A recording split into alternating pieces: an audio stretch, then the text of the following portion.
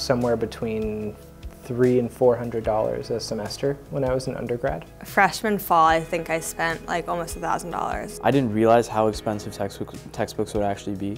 Even to rent the textbooks for like $120. I actually kept track of all of the money that I spent so I could report it on my taxes because it was that significant.